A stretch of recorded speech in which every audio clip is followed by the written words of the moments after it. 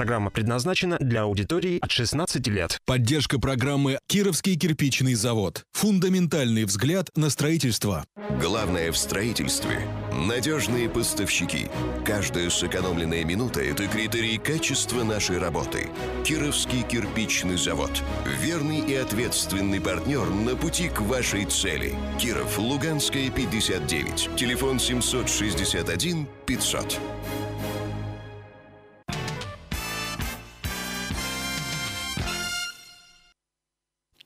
Кирове 13.06.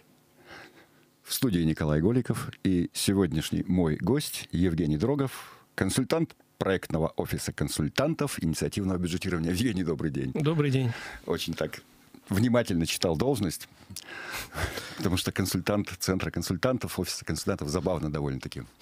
Но я думаю, из этой должности следует, наверное, и тема нашего сегодняшнего разговора. Вообще, вот я считаю, что май, май, вот этот май, хоть он был таким и неприветливым, и холодным, но прошел по таким очень теплым знакам. Очень много говорили в мае об инициативном бюджетировании. Мне что еще интересно, что это было как на федеральном уровне, так и на уровне нашего региона. Прошел большой округлый стол с, с участием временно исполняющего обязанности губернатора Кировской области Игоря Васильева. И вот как раз все как бы говорили, что это очень важное и нужное дело. Причем, что интересно, вот если на федеральном уровне речь шла так, что в связи с тем, что, в принципе, в стране довольно-таки тяжелая финансовая ситуация, э, развивать инициативное бюджетирование как раз самое время, да, потому что оно позволяет привлечь средства населения, которых у нас очень много хранится в кубышках. А вот у нас в области было сказано так, что вопреки сложному финансовому положению мы все-таки будем развивать инициативное бюджетирование. Вот такую разницу единственное я заметил, но в принципе и там, и там говорилось о том, что дело... Вот, понимаешь, все-таки были какие-то сомнения какое-то время, да? Как-то то затихала тема, то возобновлялась, то было очень много вопросов. Сейчас вроде бы все сошлись, что это нужно. Вот как-то ты связываешь это с финансовым ситуацией или с чем-то другим, может быть? Ну, когда э, практики существуют в проектном режиме, это требует э, изыскания средств из бюджета на софинансирование этих проектов. Mm-hmm. Да? А, ну, я так понимаю, что мы не говорим об этом подробно, потому что э, слушатели наши уже э, многое знают, да? Про инициативное бюджетирование? Про инициативное бюджетирование. Я думаю, что да. Проект поддержки местных инициатив, проект «Народный бюджет» в нескольких муниципалитетах, да? А, то есть, когда в проектном режиме это существует, и э, средств из бюджета на софинансирование не хватает, есть соблазн у тех, кто планирует бюджет, первым делом срезать те расходы, которые не являются обязательными, mm-hmm. скажем так, да. То есть, ну, вот в этом году есть проект, в следующем году мы от него откажемся. Но э, мне кажется... Ну, либо еще вариант такой, если вдруг появятся деньги, если вдруг появится, проведем. да, мы его да. проведем. Да. А так, может быть, и нет. А так, может быть, и нет. Э, вот, но при этом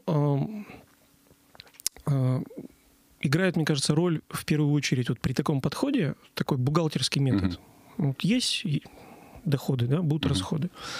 А все те э, моменты, которые м, связаны с самим проектом, с его сутью, то есть привлечение дополнительных средств там, на каждый рубль, да, вовлечение граждан в принятие решений, снижение тех же самых иждивенческих настроений, то есть тот лозунг, под которым, собственно говоря, у нас э, один из лозунгов, под которым проект поддержки местных инициатив в свое время появился в Кировской области, они как-то выносятся за скобки. Вот эти моменты, они не учитываются, к сожалению. Потом, смотри, интересно, что получается так, что ведь за счет вот того же ППМ, если взять, да, угу.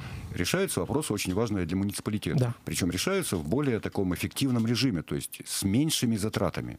Да. То есть тут как бы экономический эффект, по идее, присутствует, и по идее это надо бы вот хвататься за это. Вот у нас э, период, когда проект уже существовал достаточно, угу. по, по поддержке местных инициатив, я имею в виду, достаточно долгое время, э, совпал с периодом э, тяжелой финансовой ситуации в стране, вообще с бюджетами, да, и э, этот соблазн, он появился отказаться от проекта, но поскольку проект живой и востребованный, он силами своих участников, э, сторонников начал сопротивляться. Причем это ну, происходило не, не в этом году и не в прошлом даже, а несколько лет назад. А на федеральном уровне, э, мне кажется, ситуация немножко иная произошла. А, то есть было изучение практик, и когда э, финансисты, в первую очередь, на уровне Минфина российского и э, научно-исследовательского финансового института Минфина увидели, что э, в первую очередь это э, эффективное расходование бюджетных средств плюс привлечение дополнительных mm-hmm. средств, этот проект пошел так сказать, на развитие. То есть им э, заинтересовалось федеральное правительство, и появился федеральный проект, в который э, некоторые регионы э, только-только начинают вступать, а Кировская область получается, что вот такой опытный игрок, на этом поле, но сомневающийся стоит, ну, в какой-то момент, я имею в виду. То есть игрок опытный, но бюджет не, не довольно, довольно незначительный, чтобы это продолжать уверенно, да? Вот, мне кажется, за последнее время произошло достаточно существенное изменение в понимании, что как бы ни было тяжело, есть, есть направления, есть проекты, от которых не стоит отказываться, не нужно отказываться, или там ни, ни в коем случае не нужно отказываться. Вот э, эволюция этого понимания, мне кажется, произошла за последнее время, и э, это ведь на благо всей нашей области. Вот, Евгений, как раз вот говоря о том, что это как бы вот о федеральном как бы, масштабе этих проектов, вы же недавно участвовали в большой довольно-таки Конфи... как это назвать, большом семинаре конференции, да, угу. который в Ульяновске проходил, межрегиональный, с участием и Минфина, и НИФИ, вот этого научно-исследовательского финансового института. То есть вот э, какая-то общая эта картина по России вырисовалась по, по итогам такого ну, совещания? к, к сожалению, так совпало, что мы э, как раз м, участвовали в этом семинаре в Ульяновске, в Всероссийском семинаре совещания, инициативное угу. бюджетирование и смежные практики, как раз в то время, когда в Кирове состоялся круглый стол, круглый стол, круглый стол с участием... Да, заметил, что совпало по времени. С участием участием губернатора, да, то есть, к сожалению, нам не удалось поучаствовать одновременно в двух мероприятиях, но э, вот участие в подобных э, мероприятиях Ульяновскому, э, оно как-то дает возможность взглянуть на себя самих со стороны, соразмерить наш опыт с другим, Э, с других регионов опытом, э, ну, как-то сравнить, да, вот возможности и цели угу. этих э, практик. И это достаточно ну, бесценный, можно сказать, опыт, который невозможно получить, варясь только вот в собственном соку, только находясь на своей территории. Ну, я так понял, что доклад, с которым ты выступал там, да, он вообще как бы получается, он так полностью совпадает с главной темой вот этого семинара, он чуть ли как бы не основополагающий был. А, ну, э, я не скажу, что он основополагающий, потому что практик очень много, они все разные. А, вот помимо тех, которые есть в Кировской области, какие-то другие еще есть? Э, они везде называются по-разному и имеют э, нюансы, угу. определенные отличия в каждом регионе. Тот же, та же, например, Вологодская область – там реализуется проект, Э, который, по сути, является проектом поддержки местных инициатив. Угу. То есть все те же инструменты там э, задействованы, но он называется народный бюджет, например. Да, да у нас народный бюджет а у нас народный, другое, да? А у нас народный бюджет — это практика партиципаторного бюджетирования, от английского «участвовать», да, угу. то есть когда граждане участвуют в распределении бюджетных средств. Но он у нас не называется партиципаторное бюджетирование, называется народный бюджет. Я но... боюсь, что если бы он назывался партиципаторным бюджетированием, хотя бы из-за названия уже гораздо меньше ну, бы да, но, но народный бюджет это название немного других проектов, которые там до этого появились э, тоже в других регионах. То есть вот э, Название... А как-то прийти к общей терминологии? Там Москва не а пытается привести все регионы а как раз, как раз после, последние два года пройден достаточно большой путь а, по тому, чтобы, а, во-первых, а, осмыслить эту терминологию, угу. во-вторых, прийти к общим каким-то положениям, знаменателям, а в-третьих, ну, чтобы и произносить это было ну, как-то, да. как приятнее. А, отсюда и появился вот этот термин «инициативное бюджетирование», то есть когда э, участие, да, инициатива вышла на первый план. Вот э, в самой э, терминологии, ну, ну, хар- характеризующей всех, суть этих явлений. Вот этих, вот, во всех этих практиках главное это инициатива. Да, конечно. все-таки первичная да. инициатива.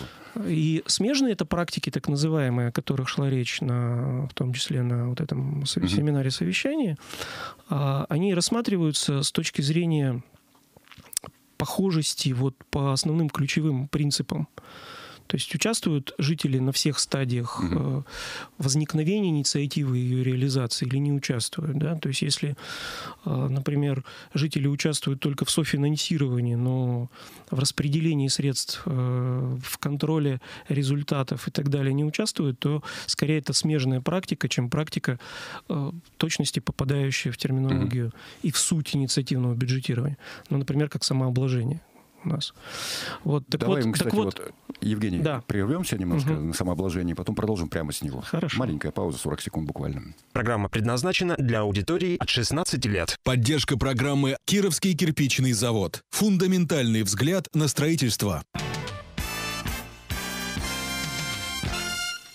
Возвращаемся в нашу студию. Напоминаю, что у микрофона Николай Голиков, и сегодня у меня в гостях Евгений Дрогов, консультант проектного офиса, консультантов инициативного бюджетирования. Евгений, мы как раз вот заговорили о смежных практиках, такой термин тоже интересный, да, и в том числе вот о самообложении. Ведь оно у нас, по-моему, существует довольно-таки давно в области. Да, оно у нас появилось э, вот в ряду тех практик, о которых мы сегодня говорим, самым первым mm-hmm. по хронологии. И вообще э, я немножко, готовясь к докладу, углубился угу. в предысторию и понял, что в той или иной форме э, самообложение существует в Кировской области очень давно. То есть, очень это как? Ну, там корнями уходит в советское время. То есть, когда жители решали а, что-то сделать совместное, полезное угу. для а, общественных целей э, с участием собственного рубля. Затем это приобрело э, форму, скажем так, работы местного самоуправления с населением, когда жители собираются на сход, на собрание и э, решают там скинуться по определенной сумме, чтобы направить эти деньги там, на уличное освещение, там, на, на вывоз ре- мусора, там, на рем- еще, ремонт понятно. Ага. забора на кладбище там, mm или еще на что-то. Вот. Но а, правовые основания эта практика получила с принятием федерального закона о принципах организации местного самоуправления. Он третьего года? Он в 2003 году был принят, но с отсрочкой вступления в силу он вступил с 1 января 2006 года в силу. mm Вот. И с этого времени а, уже как бы узаконилась эта практика. Да, да? это уза- практика узаконилась, и э, в этом же 2006 году появились муниципалитеты, э, по-моему, в 12 районах, если я сейчас не ошибаюсь, э, Кировской области, где уже э, самообложение с э, применением процедур, прописанных mm-hmm. в новом законе, стали применяться. Отличие от всех других практик здесь э, заключается в том, что жители решения о э, вступлении Э, самообложения, э, проведении самообложения э, принимают на референдуме. На местных референдумах. Местный референдум. Там предусмотрена законом еще и форма схода, но э, сход – это форма плебисцита в поселениях с численностью жителей менее 100 человек в целом, в пос... когда в поселении проживают. У нас таких поселений нет. Не осталось уже, по крайней мере. Ну, их, э, может, они и были на самом на начальном, самом начальном этапе, этапе да. но э, в процессе объединения субъектов сельского вот э, уровня mm поселений, на момент, когда эта система устоялась, их уже не было. Поэтому единственная форма – это референдум. Референдум связан с целым рядом административных и финансовых издержек. То есть референдум ну, провести... обычно делают, совмещают да, с у нас их, выборами. У, у нас их совмещают, но это все равно целый э, ряд э, определенных процедур, э, гораздо более сложных и э, время труда затратных, чем и, кстати, проведение да, и, собрания, и затратных, потому что очень много же случаев, там же обязательное условие, что приняло участие более половины людей, обладающих правом голоса, и из-за того, что просто часть людей не да. приходит, сейчас же на выборах нет уже порога явки, поэтому многие не ходят. То есть риск, риск не получить э, так, искомого да, что... результата уже на самом первом э, этапе, то есть принятия решения, очень большой, в отличие Помню, там... что в некоторых вот районных центрах просто даже не с первого, не со второго, а только с третьего раза признан был состоявшимся такой референдум. Даже я уж не помню, какие там были результаты. И всякий раз на него в любом случае тратились какие-то средства и административные силы. Ну и хотя э, категорию муниципалитетов закон не определяет, угу. где э, самообложение может проводиться, то есть теоретически оно может проводиться везде. И в крупных э, городах, и в маленьких сельских поселениях. Э, самообложение проводится чаще в сельской местности. Ну это и понятно. То есть, Нет, ну на уровне районных центров тоже оно есть. Ну да, ну в, крупно, в крупных городах вот э, я, честно говоря, не... Я просто наблюдаю, не постоянно обнаружил. публикуют, э, есть такая газета у нас «Холодницкие зори», они постоянно публикуют, э, как собираются средства по самообложению Да-да-да. после принятия решения. И там всегда очень много нареканий, что вот такой-то микрорайон уже самообложился, скажем так, на 80%, а вот в таком-то вот микрорайоне, это город все-таки, в таком-то микрорайоне такой-то дом, там вообще еще никто ничего не заплатил. У нас существование самообложения как практики. Интересно тем, что э, другие практики инициативного бюджетирования, ну я уже в терминах вот, э, общепринятых на федеральном, федеральном уровне говорю сейчас, э, параллельно с народным бюджетом и с ППМИ существует, и этим интересен опыт Кировской области другим регионам. То есть все три практики как бы вот такие Они существуют нас есть, параллельно, да, причем у них э, разный реализатор на уровне э, областного правительства. Самообложение реализует Министерство внутренней политики, э, управление по э, работе с местным самоуправлением. Про- проект «Народный бюджет» Минфин, а проект поддержки местных инициатив э, Министерство социального развития. Вот. И это тоже уникальное э, положение, потому что в Но большинстве... оно вообще нормальное, вот это положение, или просто уникальное, просто интересно? А, так сложилось. Так сложилось. Но, может быть, как-то это пере- пересложить? То есть э, нельзя сказать, что это как-то ненормально. Да? М, Вот мне кажется, то, что эти практики существуют параллельно и дополняют друг друга, э, как раз благодаря тому, что из разных окон, да, грубо говоря, муниципалитет может получить определенную поддержку с участием жителей, то есть при участии непосредственно населения. Это же хорошо для муниципалитета, да? Для муниципалитета, да. То есть я... Как говорят, ласковое теле двух маток сосет, да? Нет, ну, тут ведь есть еще и взаимное влияние этих практик. А, Когда, э, например, э, жители поучаствовали, скажем, там, пытались поучаствовать в проекте «Народный бюджет» с каким-то проектом, да, подготовили сметную документацию, проработали все детали проекта, но их проект не был выбран. И они уже с готовым, собственно говоря, подготовленным, продуманным проектом могут участвовать там в ППМИ. ППМИ. А, ну, редкий регион может э, вот таким положением вещей похвастаться, а тут действительно есть чем похвастаться. То есть, если рассматривать с точки зрения конкретного жителя, который хотел бы и дорогу, например, отремонтировать, и э, детскую площадку э, сделать там для детей, а средств в бюджете нет, и получить там на сельское поселение сегодня поддержку миллион там, или полтора миллиона рублей, Нереально. это э, вот вне Мгм. практик э, инициативного бюджетирования ну, практически невозможно. Вот, а э, ППМИ, А там народный- сами бюджеты-то исчисляются, дай бог, там сотнями тысяч. ну да, в сравнении с другими регионами э, положение наших сельских поселений по уровню бюджетов, конечно, проигрывает э, тем же пермякам, например. Вот. И, кстати, э, я вот на этой конференции, я как-то на другие регионы э, не углублялся. Оказалось, что э, вот те полтора рубля, которые наш регион на рубль, собранный жителями по самообложению, Мгм. добавляет из бюджета областного, а, это стимулирует сбор самообложения, но оказалось, что Кировская область по этому показателю э, далеко не лидирует. Э, Там Татарстан, э, Пермский край 4-5 рублей добавляют На каждый рубль на рубль собранный. да. Мгм. Но это подрывает эм, основу э, заинтересованности инициативы граждан по участию в дальнейших каких-то процедурах. То есть получается так, что большую часть финансирует э, Ну, региональный бюджет, Ну да? вот смотри, э, регион, где есть самообложение, при котором на рубль собранных средств 5 рублей дает регион. Мгм. И вдруг э, региональный Минфин начинает интересоваться народным бюджетом или м, ППМИ, Мгм. где не просто нужно софинансировать, но еще э, вовлечь граждан, провести собрание, подготовить э, с участием, опять же, населения проект, продумывать его детали. Там все и смету, и все, что Да, ну с- сме- смету, про смету я не говорю, потому что смету готовить нужно везде, если речь идет о муниципальных э, там, бюджетных средствах. Вот. Э, проконтролировать там, да, то есть эти жители будут, поскольку они рубль э, вложили, их вовлекли, они будут контролировать э, процесс расходования этих денег, детали этого проекта в соответствии с тем, как он был заложен там в смету, объемы и так далее, и так далее. В самообложении провели референдум, получили деньги, и дальше, в принципе, по законодательству местная администрация может население не привлекать уже. Ну, и оно не обязано это делать. Не, ну как не привлекать? Все равно же цель-то самообложения, она оговаривается изначально. Цель Куда самообложения... должны быть направлены деньги? Да, цель самообложения оговаривается, но э, есть тут один существенный нюанс. Например, в поселении несколько э, населенных пунктов. Мгм.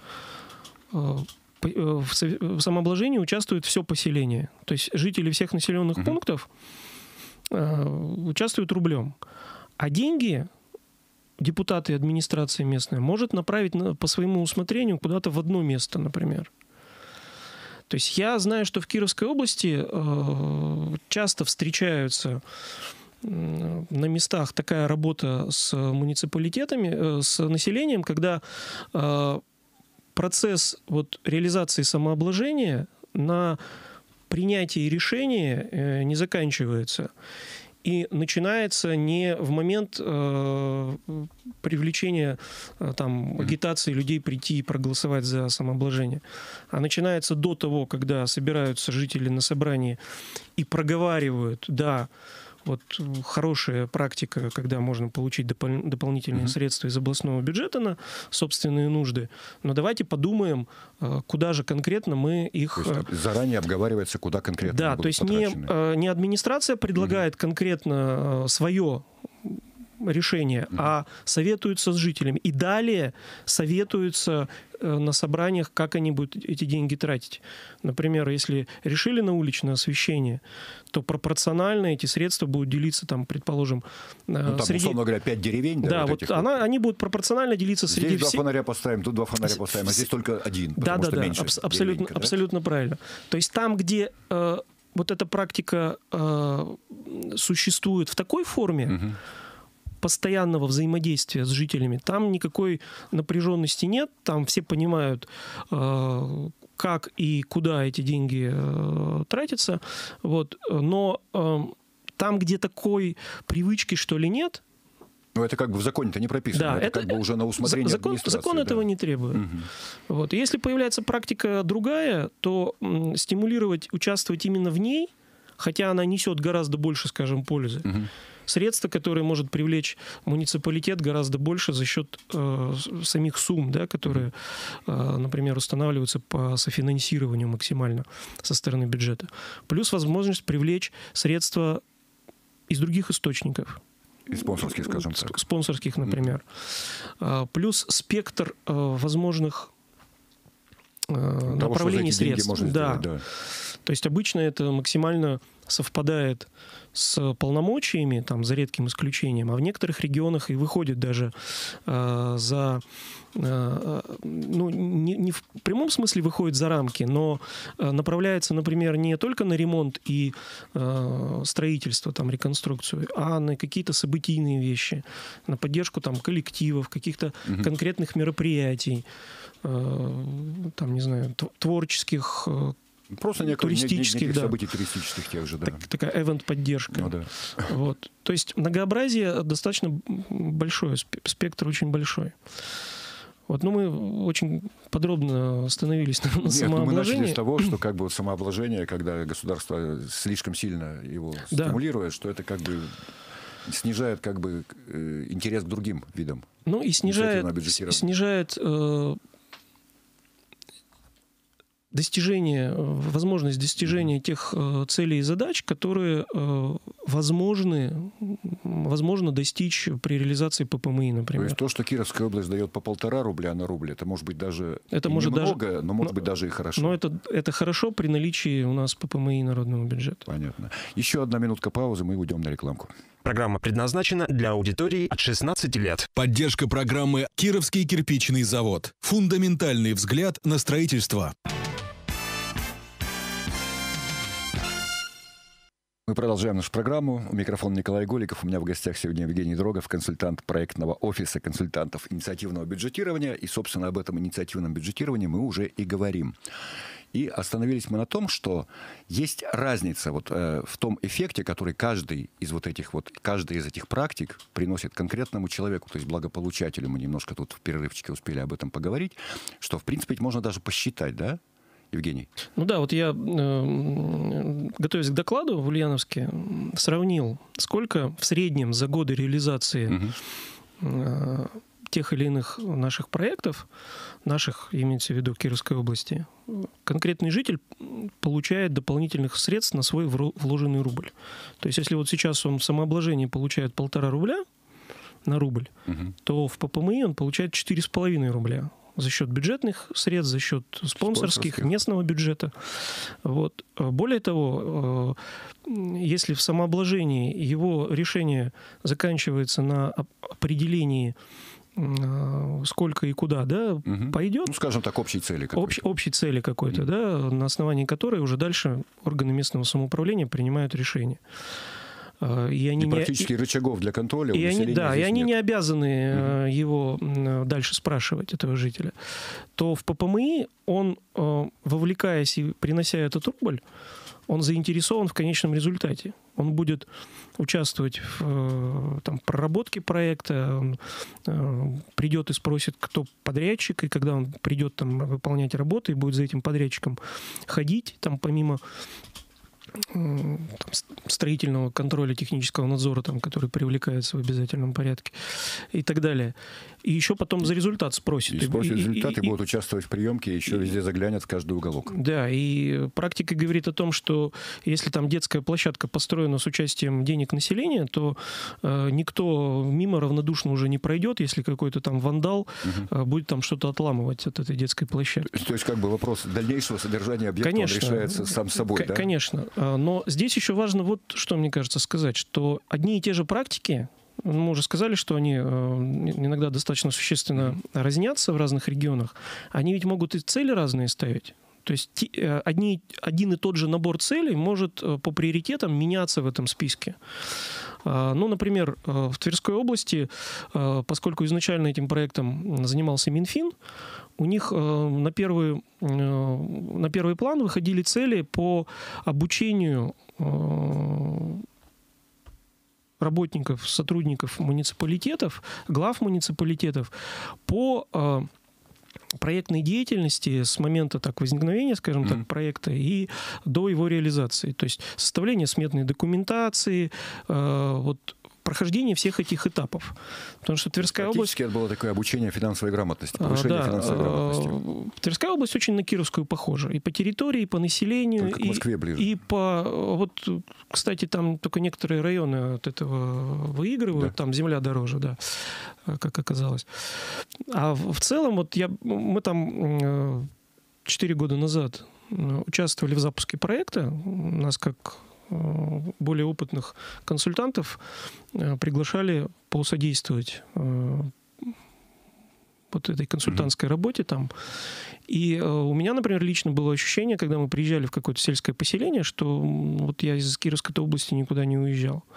Те же проблемы, связанные и с наличием необустроенности той или иной, и с уровнем бюджетного обеспечения и так далее. И э, вот именно этот инструмент ППМИ был использован э, Тверским Минфином э, для повышения эффективности, во-первых, расходования, во-вторых, для обучения э, местного самоуправления. Э, факт и э, цель там, привлечения населения, они выходили, отходили на второй план. Угу. Хотя это тоже было важным э, условием. Вот. Но если мы вспомним историю ППМ в Кировской области, то изначально и до сих пор э, участие населения, вовлечение э, жителей в принятие решений, в работу э, органов местного самоуправления снижение иждивенческих там и патерналистских да, э, настроений. Это выходило на передний план, и это до сих пор является основополагающим. э, как э, любят у нас говорить э, в Министерстве социального развития те, кто занимается проектом вот эти mm-hmm. годы все, и тот, кто запускал проект у нас, то, что в результате реализации проекта появляются объекты местной инфраструктуры, может быть, более качественные, чем они появлялись по каким-то другим причинам, это такой побочный положительный эффект. Угу. То есть он в глазах населения, конечно, э, является главным и основным, но те процессы, которые э, происходят, сопутствуют, сопутствуют запускаются объекта, да. и начинают э, такую обратную связь, обратные действия уже оказывать на участников, это более важно с точки зрения вот развития и местного самоуправления, и взаимодействия разного уровня органов э, власти там и местного Вообще, самоуправления. Мне кажется, вот это взаимодействие власти местной и населения, оно за счет этого меняет свой характер. То есть это не просто там, вот я там живу тут, да, ты вот мой начальник, ты вот сделай мне то-то и то-то. Там вместо вот такого вот оппозиции возникает некое сотрудничество, мне кажется, это очень важно тоже. Ну и э, Сегодня, вот на сегодня, э, цифры звучали на совещании в Ульяновске. 46 регионов Российской mm-hmm. Федерации э, те или иные практики в том или ином виде, которые можно отнести к инициативному бюджетированию и смежным практикам, на своей территории реализуют. И регионы, которые уже вот какой-то цикл прошли, вот как мы, например. А, ну, даже вот есть регионы, где там один год только. Угу. Вот та же Ульяновская область. Вот они подвели итоги там 16 года э, проектов. Но они уже э, по общему такому э, мнению термин заражены. То есть вот люди, которые поработали в проекте, они заражены этим проектом. Может, коннотация слова «заражены» не очень э, позитивная, да, но мы же называем там любителей спорта болельщиками, да, хотя болеть вроде э, в, пер, в, в первоначальном смысле да. не, не, не очень хорошо. Поверь, я как раз сейчас больной, поэтому мне не очень хорошо от того, что я болельщик. Ну да.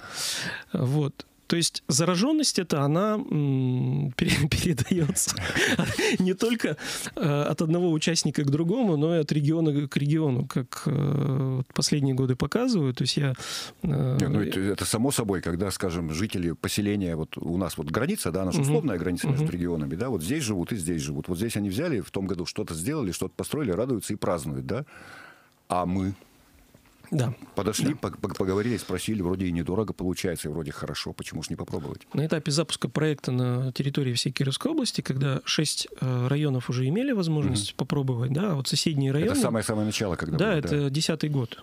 То есть в 2010 году первые 27 проектов были реализованы, и э, когда опыт э, стал распространяться качестве пилотного уже на, всю, на территории всей Кировской области, соседние с теми регионами, где уже э, люди попробовали, у них этот э, пример был перед глазами. То есть, что нужно сделать для того, чтобы вот у нас тоже, тоже получилось.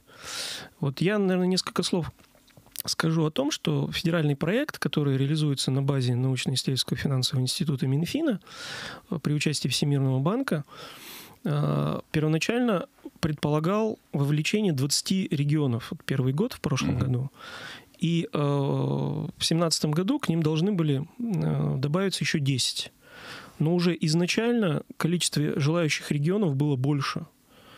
То есть уже было там не 20, а 23, 24. И присоединилось тоже и, больше. И, и, и присоединилось ты тоже. Говоришь, что уже 40 с Да, ну стало, вот да? их посчитали 46 mm-hmm. регионов. То есть, возможно, участниками федерального проекта себя уча- э, считают там меньшее количество, но mm-hmm. тем не менее в тех или иных... Но это зараза, если уж мы тот термин взяли, она распространяется уже вне зависимости. В той или иной мере они вовлекаются тоже вот в эти э, обсуждения, на федеральном уровне в том числе. Вот 16 регионов было в Ульяновске представлено. В основном это Приволжский федеральный округ, но не только. Другие регионы тоже были, включая Сахалин, например. Я здесь хочу все-таки вернуться к тому, с чего мы начали, когда мы говорили о том, что, к сожалению, сейчас в большинстве регионов вот эти инициативы, они реализуются именно в проектном режиме, да? То есть они законодательно не обусловлены. Но я, насколько знаю, Это вызывает такую всеобщую нервозность. Я помню, да, каждый год, когда проходит там определенная стадия, все начинают спрашивать, а в следующем году будет. И возникает такая пауза, никто не знает, будет или нет. Я вообще так даже вспомнил сейчас по ходу анекдот старинный советский, да, про армянское радио, когда спросили, почему дети нервными рождаются, и там говорят, что вот в утробе матери первые три месяца они думают, будут ли их рожать вообще потом волнуются, будут ли у них папа там, потом волнуются, возьмет ли их бабушка на воспитание. В итоге вот такие дети получаются. Вот здесь вот в связи с этим таким проектным характером, да, тоже такая нервозность всякий раз возникает. То есть люди, особенно те, которые, вот, условно говоря, в этом году у них проект по каким-то причинам баллов не добрал, и они все равно хотят его реализовать, но они не знают, будет ли он в следующем. И вот, насколько я знаю, все-таки вот есть у нас такой пилотный регион, имени Пермский край, где даже принят закон об инициативном бюджетировании. Ну да, Пермский край пошел по пути принятия закона. Угу. То есть они не стали пробовать э, в проектном э, режиме это осуществлять. То есть они решили этих волнений избавиться? А, я не знаю, насколько, скажем, хорошо там это или плохо. То есть я не берусь э, вот с этой точки зрения оценивать, потому что и законченного цикла в Пермском крае еще нет. Угу. То есть они в прошлом году приняли э, закон об инициативном бюджетировании, а в этом году они э, проект свой запустили. То есть как он ну, получится, что... Э, Это значит, мы только в следующем году уже можем что, говорить, что, да? что дальше они предпримут, какие выводы из этого сделают. Ну, то есть тут пока рано о чем-либо говорить конкретном. А, то, что практика появляется и развивается в проектном режиме, наверное, это хорошо. С той точки зрения, что на любом этапе законченного цикла, да, когда mm-hmm. цикл прошел, следующий этап можно подкорректировать внести э, изменения в нормативную документацию. Чаще всего это там постановление на уровне регионального правительства принимается.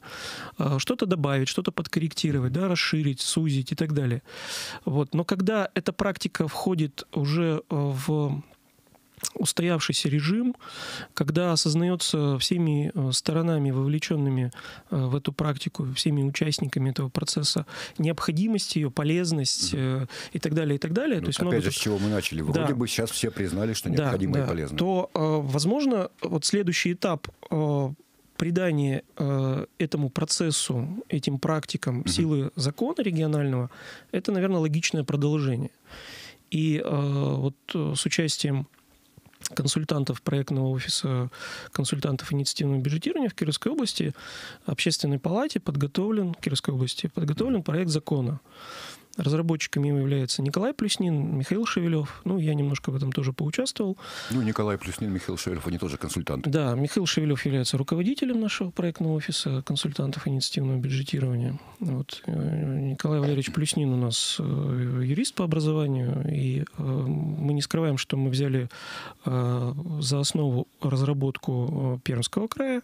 Уже действующий закон, да? Действующий закон, но были внесены как бы корректировки, изменения в соответствии с той практикой, с тем положением вещей, с тем опытом, который уже наработан. Который, с тем опытом, который существует в Кировской области. То есть учтены и практика народный бюджет, и ППМИ, и, возможно, появятся какие-то другие. Мы знаем э, э, вот за последние годы, что опыт ППМИ использовался, э, э, ну, были попытки там какие-то другие конкурсы угу. проводить, там Министерство внутренней политики на протяжении двух лет, например, проводило конкурс благоустройства э, по процедурам, практически полностью совпадающим с ППМИ, когда 10 муниципалитетов могли получить угу. по миллиону рублей поучаствовав в конкурсе на благоустройство. Вот, ну, Там тоже софинансирование со стороны населения?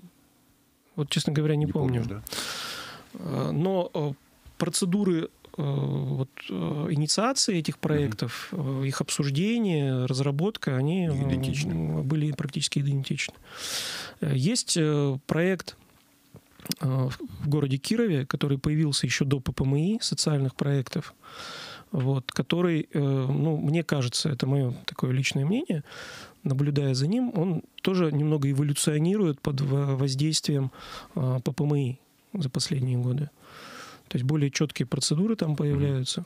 Хотя он менее, конечно, масштабный. там до 100 тысяч рублей можно получить на один проект, в отличие от Ну, миллиона. Там и, там и проекты тоже. Ну и проекты, проекты меньше, да. местные, да. Но вот наличие всех этих практик, причем в отличие от ППМИ и народного бюджета, э, вот эти социальные проекты в Кирове это чисто муниципальные, муниципальная практика, муниципальный проект. Вот, и э, чем больше, наверное, их будет, тем лучше. А вот это само принятие закона, оно к чему может нас, так сказать, привести? Станет ли более А вот надежным вот та, этот факт та- финансирования? та опасность, э, которую, ну скажем, или нервозность, там, вспоминая, Да, да, вспоминая которая- анекдот, который ты рассказал, который существует сегодня, э, удастся от нее отойти. То есть э, сегодня принимается трехлетний бюджет, да, и с учетом принятия этого закона можно будет По учитывать... крайней мере, на три да, года. на три года планировать, уверенным, да. планировать эти деньги. Уверенность тогда появляется у всех сторон, которые вовлечены в этот процесс. И у муниципалитетов, и у населения, и у подрядчиков, которые из года Будут в год уверены, что они эти деньги получат. которые из года в год участвуют. э, Причем привлечение именно местных компаний, у которых низкие издержки на реализацию понятно, да, проектов, да, это же стимулирует тоже и развитие и предпринимательства местного. И Создание- бюджет опять же пополняет. и опять же пополняется бюджет, то есть те налоги, которые с этих денег э, обратно возвращаются, э, тоже нельзя не учитывать. К сожалению, наше время подошло к концу. Вроде такая тема-то... А мы только а начали мы только вроде. начали еще. И- и, Жень, большое спасибо. Я думаю, что мы еще об этом поговорим в другой Спасибо, раз. спасибо Всего большое. доброго. До свидания.